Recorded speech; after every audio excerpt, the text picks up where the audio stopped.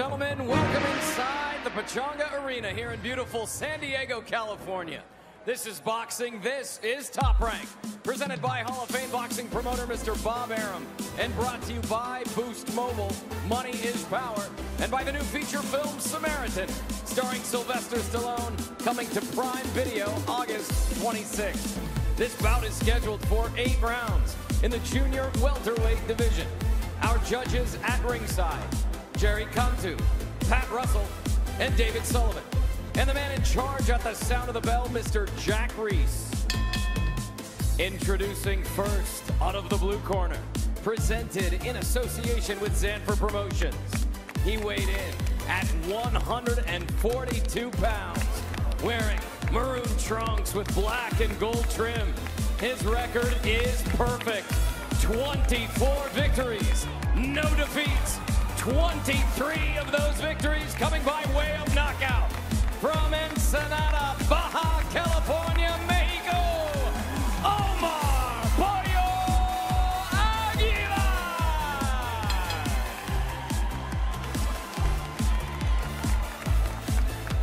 Introducing out of the red corner, he weighed in at 142 pounds, wearing red trunks with blue trim.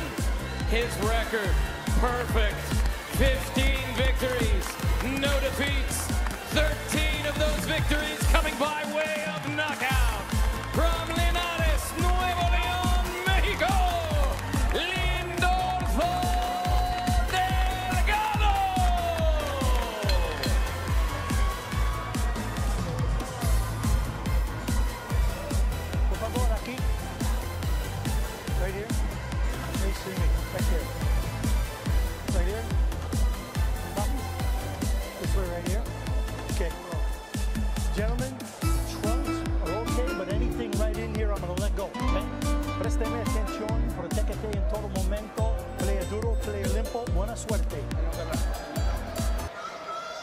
Lindolfo Delgado is the Mexican Olympian from Rio 2016.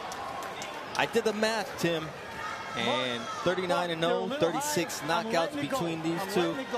Dre, I don't think this fight goes the distance tonight. Listo. Listen, I think this is an even matchup, but Delgado, where he's at, his skill set and ability, this is the fight that he's supposed to, to dominate. I'm not saying it's going to be easy, but where he's at in his skill set compared to Aguilar, I think he's further ahead, and I want to see him take that step tonight. But Aguilar is not going away easy. Aguilar understands how important this fight is because he's 24-0 with 23 knockouts, and he said, I am tired of people saying that I'm only knocking out cab drivers and ice cream vendors. Tonight, I'm going after an Olympian, and that's going to put me at a different level. Tonight is his opportunity. Good stick, good jab to the stomach by Delgado. There's that stick to the head as well. That's been the key for Delgado early on in this fight, ah. using that jab, despite the fact that he's at a two and a half inch reach disadvantage against Aguilar. Yeah, but he has a speed advantage. Mm-hmm. And quality of sparring advantage. That too. Nice jab to the body now from Aguilar. He returns the favor. Dre, you always talk about sometimes what your opponent does reminds you of what you need to do. Yeah. It's a lot you're thinking about in that ring, and sometimes you get hit with a shot or you get hit with the body shot, and it does remind you, hey, let me go down there as well. I'll be waiting on that. That's what you wait on. And you know, if you know a guy's on copycat, hmm. set him up. Do something, allow him to do it, and then make make him pay for it. And what we're talking about when we mean the Ooh, great sparring for Lindolfo Delgado is getting in, getting in there against guys like Jose Ramirez, Raymond Muratalla, Giovanni Santillan, who we'll see on our ESPN show, among so many others, even Vergil Ortiz for his last fight. As long as you're not taking punishment in that gym, that kind of competition in the gym is extremely important and very good for you, and it will cause you to progress a lot faster than if you didn't have it. And look at the right cheekbone of Aguilar already showing inflammation as he throws a nice combination and finishes it by digging to the body of Delgado. Yeah, Aguilar, he realized that Delgado was throwing a single jab the same pace, and he timed it that time following it out with a combination. Uh-oh. Blood alert for the light-colored suits. Uh-oh. The nose Let me of back up. Omar Aguilar is starting to leak. They messed up my mob suit. I ain't messing up. You want no parts of that, brother. Hey, Dre, you haven't been dealing with this, but it's an issue.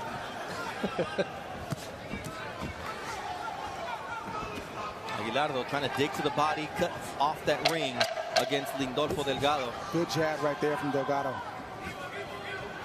It's a chess game so far through one round between Delgado and Aguilar. Two Mexican power punchers with different skill sets.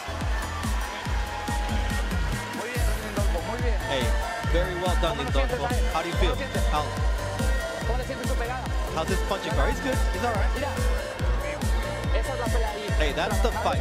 Just gonna keep using that jab. You see? His nose is already bleeding. He's inflamed. It's all behind that jab. Don't throw the jab and pull straight back because he's gonna land that overhand right on you. And if you do step back, keep that left hand up because I don't want you pulling straight back.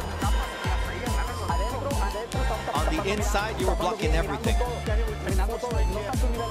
Hey, he's not on your level. Just stick behind that jab, and we're gonna outbox him.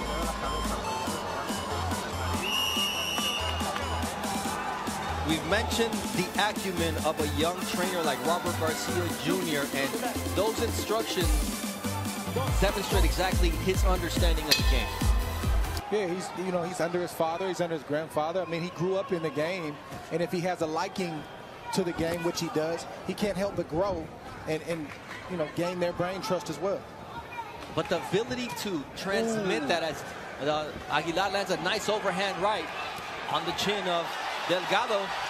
We'll see if he decides to go right after him or if he decides to box and listen to his corner. Listen, Agu- Aguilar coming out now. He turned, he turned his gears up. He's coming at Delgado because he didn't like that first round. He know he lost that first round, and now he's trying to get some get back. He shouldn't like the first round. You just see the difference in height and reach. And even though they're just as tall as one another, according to what they both list at 5'9", the reach definitely favors Aguilar, and he's coming after Delgado here in the second round. There's a right hand available, and I see Delgado going for it. You know, he's off the mark right now, but ooh, that uppercut was nasty. Those are the kind of shots that Delgado has to land because Aguilar comes hard, but he comes the same way. His head is right in line to be hit with straight shots or uppercuts like you just saw, and he has to take advantage of that because Aguilar, when that rhythm starts to get going and that engine gets revved up, he's hard to stop. And there's that counter left hook from Delgado, and it's applauding Aguilar coming forward. And you see, now he's cut Delgado over the right eye. And this fight is getting the crowd going at the Pechanga Arena. There's blood from both fighters, or maybe it was just blood from the nose of uh, Aguilar that landed on Delgado's right eyebrow. We'll take a look at it. That's the key punch for Delgado's the left hand. He can't get lazy with that, and he can't get tired or bored throwing it because that's the only thing that's going to keep the hard-charging Aguilar back. And there goes those quick shots. You see the looping shots favor Aguilar, but the short shots favor Delgado. People, a fight just broke out. Hmm. Fight is definitely broke out here. Stop, my break. Step out. There's a certain level of respect from both fighters, though, because Aguilar is not just walking straight in. He understands that Delgado, he's got to find a way in against Delgado. Yeah, usually when you have two punchers, both guys are real tentative, but these guys are getting after it. You know, Aguilar just just turned the tempo up. That that's to its success. He's letting those hands go. That's his chance to win tonight. He's got to be active. Stop, stop, stop, Where you see, whereas stop. you got Delgado that's looking for the perfect shots, but you have Aguilar just being busy.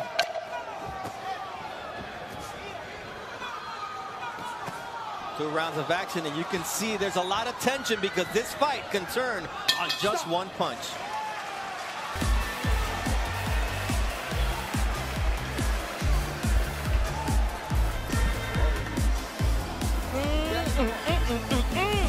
The jelly is going to be the right hand, a power shot, either left hook or uppercut, something to follow that jab.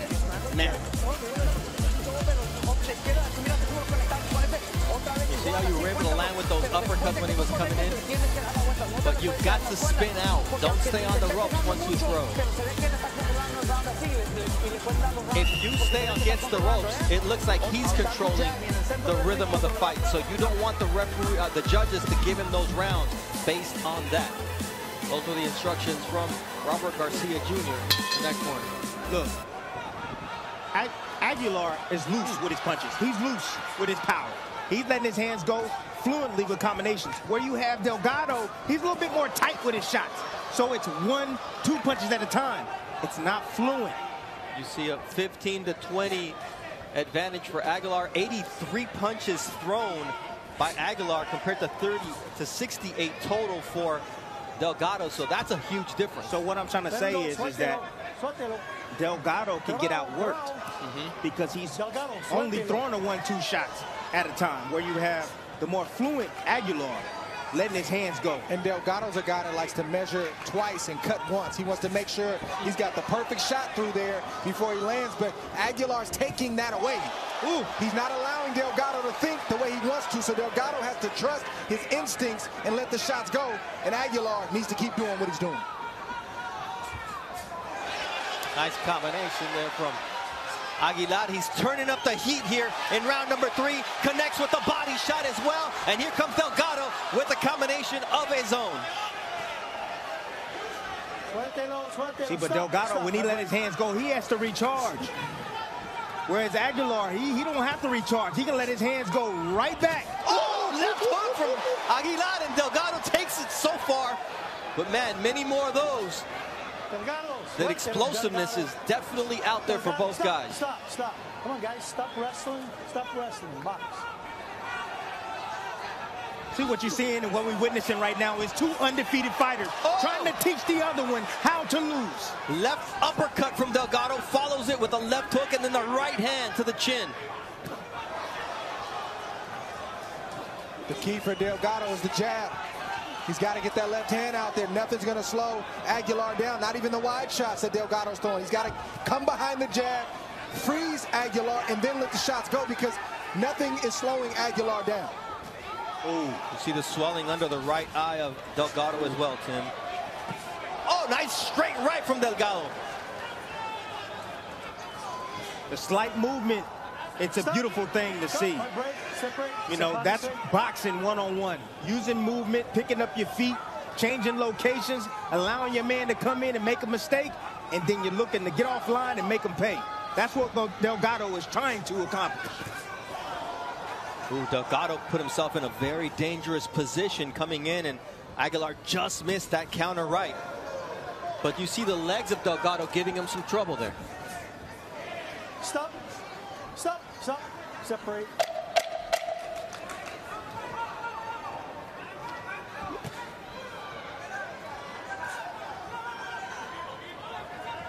Third round in the books. We'll listen into Omar Aguilar's corner where his father has the word. You're doing well? You okay? You're doing well. You're doing well.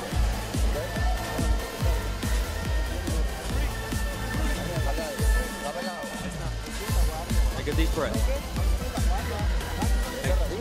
You hit him, it's going to hurt him. Throw your shots. Let your hands go. So we got his father, Omar Aguilar Sr., and his brother, Ruben Pollito Aguilar, who is also a fighter working the corner of Omar Aguilar. Two undefeated fighters at 39-0, combined 36 knockouts. This fight can end at any time. Do not blink as you see that Aguilar has been very twice as many punches thrown as Delgado, but Delgado has landed nine punches more. So it's about efficiency in this fight. I don't think it's the one big shot that Delgado throws that's going to stop or turn away Aguilar. He's got to let his combinations go, and he's got to come behind the jab. The jab is what started all the trouble for Aguilar in that first round. Big right uppercut from Delgado. That hurts, and Pollo Aguilar, he has to hold on. And it's called not a knockdown, but it should have been here in round four. Delgado doing damage. He's oh. measured the knockout puncher, and he's going right after Aguilar. He's teeing off in the middle of the ring. The legs of Aguilar are looking wobbly here in round too tough for his own good. Aguilar needs to hold right now. Not gonna do it, Tim. He's not gonna do it. He's gonna fight his way out of trouble. Oh, right, left combination from Delgado, the Olympian who says, some see me as a pretty boy, some see the fact that I've got an amateur pedigree, but now he's tearing up the face of Aguilar here, who's now bleeding from the right eye. He's got to come behind the jab, Bernardo. Aguilar can take a shot, and he can see the big shots coming. That shot hurt Aguilar because it was an uppercut that he did not see. Those are the shots that hurt guys that have good chins, the ones they don't see. All set up by the footwork. That's what set that shot up. Ran him right into it. Aguilar's not all the way back, but he's coming back in his head. It And looks he- like things are getting clearer, but he's still hurt. And Dre, that makes him even more dangerous because he's hurt. Stop, stop, stop, stop. Listen, escúchame. Aguilar's tough, too tough for his own good. He needs to recover, buy some time, clear his head, step back a little bit. It's not No, but he's happening coming tonight. forward. it's not happening tonight. How about he comes back with the double jab, Tim? Oh, he can come back with the double jab, but he's still got to be leery because guess what? Delgado got something planned for him. He's waiting to tee off for him, set him up for something, and he's going to take his head off with it. Delgado went to the body with the right hook, but he really opened up when he threw it. And here comes Del uh, Pollo Aguilar. Stop, nobody punch. Aguilar knows one way, fight harder. That's too much desperation, Dre. Too much desperation. I'm on pins and needles right now, people at home. How My about goodness. that right uppercut from Sneaky Delgado? right uppercut right there from Delgado. Oh, There's my that goodness. body shot downstairs. Here comes Pollo Aguilar as well. This is what we expected. This is what we told you this fight would turn out to be. Ready, show you go. Suerte, no. Oh! My goodness, I do not know how Omar Aguilar finished this round on his feet. It's called Corazon. Let's listen into Lindolfo Delgado's corner. He is not on your level. Just keep boxing him. Move, use your jab. Did you see how you hurt him? When he comes in, you can catch him with a shot. That uppercut is there for you. Do not stand still. This dude is not on your level. No, doubt. knockdown. absolutely should have counted as a knockdown because Aguilar held on for dear life and was going down as he grabbed the legs of Lindolfo Delgado, who landed 24-41, 59% of his punches, and they were all power punches in that round. See, that's why it's very important that to learn different facets. You know, in the beginning you saw Delgado trying to march forward, trying to be the boss, trying to stand his ground. Then all he did, one minor adjustment, pick up my feet, make this guy try to locate me and catch him when he makes a mistake. This is why I said that even though the fight is evenly matched on paper, Delgado has things that he can do to really dominate the fight, but he's not always consistent with those Yes. things. And Aguilar's not playing along, and he's a hard guy to turn away. And you see Aguilar's punch efficiency in terms of how many he lands per round going down in round three and four. And the opposite happens for Delgado, who's been pretty consistent. And he lands a nice left hook there, does the Olympian. And make no mistake about it, even though Aguilar's coming forward, he's he's he's taking a lot of punishment. You see the punishment on his face. It's not in him to turn away. So Delgado has to find a way to force Aguilar to turn away. Suéltelo. Trabajo. But you can see the punishment starting to sink in on the face of Aguilar. And you can see Lindolfo Delgado starting to time Aguilar coming in. That footwork is giving Aguilar a lot of trouble because he doesn't have time to set his feet. And to Tim's point, that's the answer for Delgado. Move, move, play possum, and then explode and shock Aguilar. Mm, You can't hit him with a shot that he sees, he'll probably take it. But if you hit him with a shot he doesn't see, you get that reaction we saw the last round. I'll tell you another thing that I believe that Delgado right now is, is shying away from that could help him is going to the body. When he was able to land that land that uppercut, he started off going to the body. Start bringing those hands down. Oh, he set up that uppercut, but it was nicely defended by the right glove of Omar Aguilar. Aguilar trying to set up that long right hand. He knows that's the shot that could change the fight for him. Delgado being very smart. Yeah, he switched up the pace and he changed his game plan, which is even harder for A- Aguilar to deal with because now he's forcing Aguilar to move his feet, making him work hard, and then he's trying to run him in the shot. Yep. Aguilar wants you right in front of him. Delgado's not playing along. These are the ebbs and flows and adjustments we talk about in the middle of a fight. You see a fighter's IQ begin to rise all of a sudden during a fight because they unlock a major key. Two Mexican warriors in the ring right now. They combine for 36 knockouts and 39 victories. And in our main event tonight, it'll be Emmanuel Navarrete against Eduardo Baez, another pair of Mexican fighters with the title at stake. Round six of a scheduled eight round fight. This duel between two undefeated fighters you'd expect later on in their respective careers. And you see the total punches through five rounds. 96 landed for Delgado against 82 for Aguilar. That changed completely from round three on. See, what happened is these guys were fighting a fight one type of way. And then Delgado switched up the pace, and Aguilar hasn't gotten the memo, so he hasn't made the adjustments. What's happening now is Delgado is getting ready to set Aguilar up to hit, to land a devastating shot that could knock him out because he's not making any adjustments. His head is right there, and he's taking a lot of punishment. So now the shots are starting to move him, when in the first couple rounds, they didn't. But Del- but Aguilar just landed a nice counter left hook. Oh, he's dangerous Yes. until, he, until this fight. Oh, And right there with the right. right. Buzzed him. He buzzed him with that. Delgado went to sleep in that corner. You cannot allow a fighter like Aguilar to do that. But if you can catch him coming in, that double impact is double dangerous. Double dangerous, baby. See, the problem with Delgado is, is that when he decides to move, Aguilar is already too close. And he's able to extend with his hands. And Delgado decided to come towards Aguilar instead of moving. Now he's back to moving laterally, and he lands a right hand and a nice right uppercut on Aguilar. See, when you when you move, you got to make sure you have the proper distance. You know, and so that way you can be set to punch or get out of the way. If you move while he's too close, then he can stand with his hands. Aguilar, he's gonna be able to land something. See, just like that, put you out out of off position. You see that right hand of Aguilar also able to land. He spits and he blows his nose because there's a lot of blood emanating from both nostrils here. Delgado's looking for one big shot.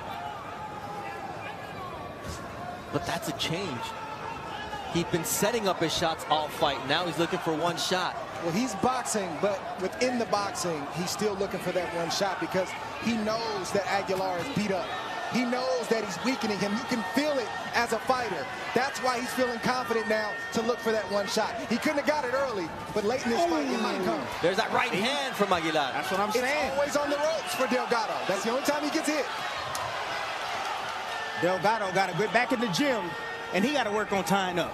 He got to understand that there's a system with tying up. Now, he tied up right there, but he stayed his, kept his back on the ropes. Turn and get back to the center of the ring. Get, get more control of that real estate. Aguilar trying to dig to the body as Delgado lands a double right hand. And then Aguilar lands a nice looping left hook. You can see that right eye of El Pollo Omar Aguilar starting to close. And they're going to have to do some work on it here in the blue corner.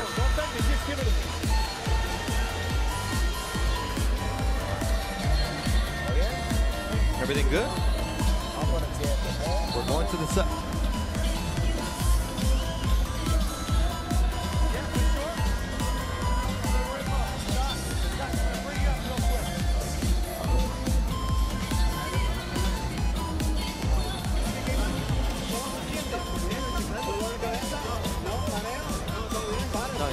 Stop it? You're good?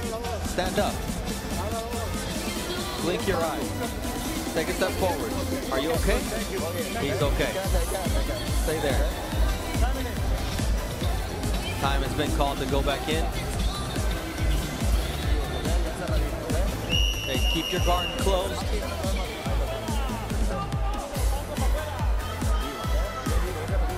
And keep your guard closed and be smart. Stay alert. Throw some big shots. Round seven of a scheduled eight-round fight. Bernardo Osuna, Timothy Bradley, and the Hall of Famer Andre Ward from Pechanga Arena in San Diego, California. So far, Lindolfo Delgado and Omar Aguilar delivering on what they promised, the war. But it's not just the brawl, guys. This is high skill level art of war. Yeah, people don't think that when guys are standing toe-to-toe that that can be a skillful art. It can, especially when that's the, the, the main way a fighter fights. They learn these crafty tricks and ways to, to block shots and cut the power down and get their own shots. Mm. Good shot right there from Aguilar. This is high-level, skillful stuff from both guys. Stop, stop, stop, Delgado got hit once again with his back to the ropes. Back to the ropes. Ooh. Now Delgado, though, he's got something to come back with. 113 to 101 is the punch landed so far through six. Delgado has to learn how to walk and move. He wants to rest on the ropes and pose and doesn't realize that that's when Aguilar comes alive. That's where he had, he's had his best moments so far in this fight. Right there when Delgado's just sitting against the rope. That's a dead spot. You have to avoid it at all costs. Because Aguilar is still dangerous until the final bell. And he's slinging that right hand. Yeah. Bad intentions on it. Oh, short left hook from Lindolfo Delgado. But that's going to wake up Aguilar. And then you see Delgado having to hold on and tie up the offensive-minded Aguilar, who goes to the body, but then gets caught with an overhand right. Tried to sneak a right uppercut in there, too. It just missed.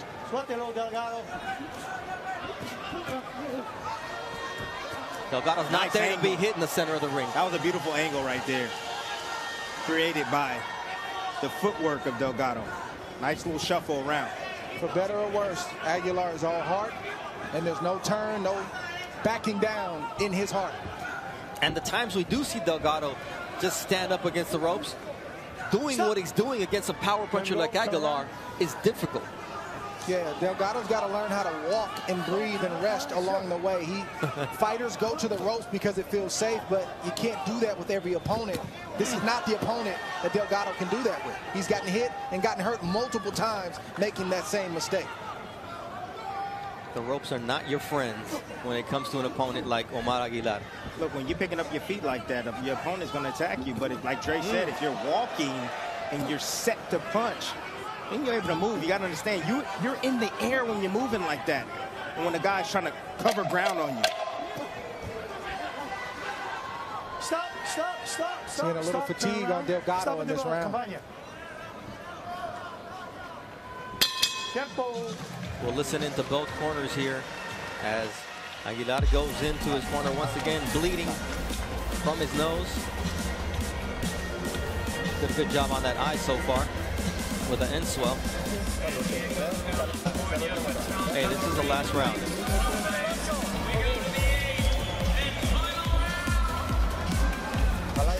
Take a deep breath, son.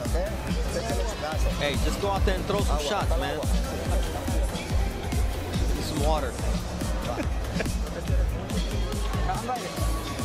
Just go throw shots. Hey, they're going to send him out to knock you out. When he makes a mistake, you got to catch him with that uppercut, either the right or the left.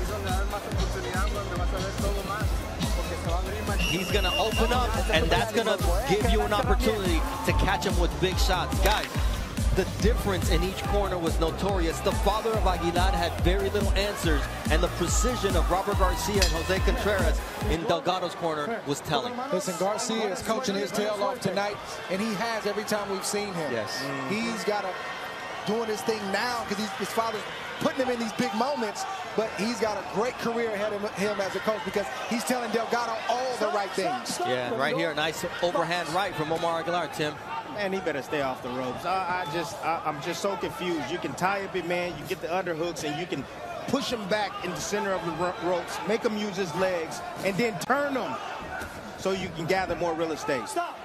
These are little things that I believe that Delgado needs to go back to the gym. If he comes out here alive, and work on. It will help his game. Aguilar just missed with a grazing left hook there. He's got to know that the knockout is the only way he comes out of here undefeated tonight. Ooh, nice double right hand from the Olympian. See, when Stop. you step inside, that's Stop. where you're safe. Stop. Step inside safe, you let the referee do his job to separate you, then you buy yourself some time. And you're killing the clock at the same time.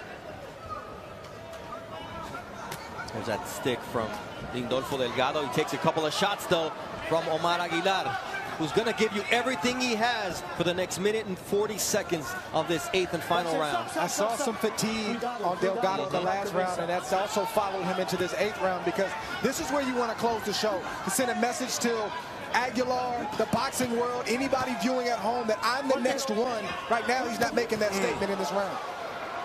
Nor is Aguilar allowing him to make this statement, although he catches him with a nice looping counter left. You see the urgency of Aguilar. He's exposing himself. There's definitely opportunities that I see that Delgado can capitalize on, and he's doing that right now as Aguilar sits directly in front of him with his hands down. Right body shot and the three-piece to the head from Delgado.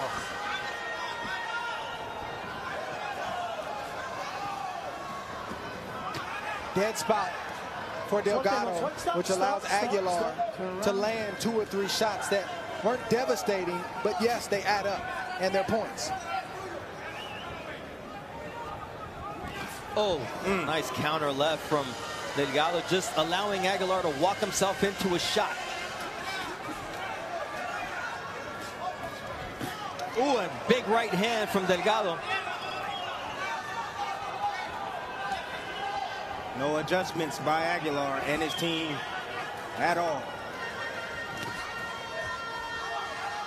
They're allowing him to think his way through this, and he's got no answers himself, and he's gotten nothing from the corner from his father in terms of adjusting and changing. But this has been a great fight between two Mexican warriors, and someone's is going to go as they get a good round of applause from the fans. The final bell after that right uppercut from Lindolfo Delgado. And guys, what a fight these two gave us. That was impressive. I loved every moment of this fight. You know, we saw we saw it all. We saw two big punchers. We saw the toughness.